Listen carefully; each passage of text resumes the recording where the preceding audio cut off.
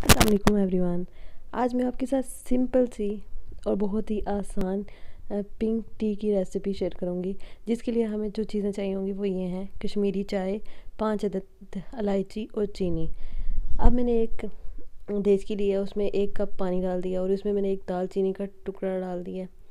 और वो जो इलायचियाँ थी, उनको तोड़ के डाल दिया और फिर इसमें मैंने डाला कश्मीरी चाय, तकरीबन डेढ़ चम्मच।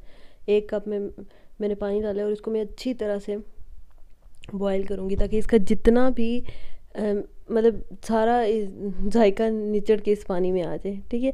हमने इतनी देर इसको पकाना है तकरीबन चार से पाँच मिनट। फिर उसके बाद हमने क्या करना है कि एक दूध का कप डाल देना क्योंकि मैं जस्ट एक कप की परफेक्ट रेसिपी शेयर कर रही हूँ और हमने अच्छी तरह से हिलाते रहना है। ठीक है?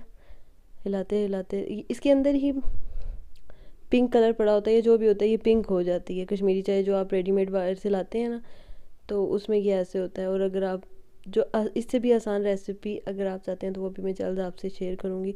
फिर उसके बाद जब हमारी चाय तकरीबन पक चुकी थी तो मैंने इसके अंदर डाल दी दो चम्मच चीनी। एक कप चाय, एक कप है तो हम चीनी जो है दो दो टीस्पून डालेंगे। ये इसकी मेज़रमेंट होती है, ठीक है? सिंपली अब हम इसको दोबारा से दो से तीन मिनट तक अच्छी तरह और पका लेंगे, ताकि ये कड़क सी बन जाए और हिलाते रहेंगे साथ साथ ये देखें, हम, हमारी टी जो है वो मार्शल से बहुत अच्छे तरीके से तैयार हो रही है। इस तरह अगर आप करते हैं ना, इलायची की भी बहुत अच्छी खुशबू आती है कश्मीरी चाय की भी बहुत अच्छी खुशबू आती है। अब तकरीबन हमारी जो चाय है वो तैयार हो चुकी है। अब हम अपना चूल्हा बंद कर देंगे और इसको एक कप में डाल देंगे।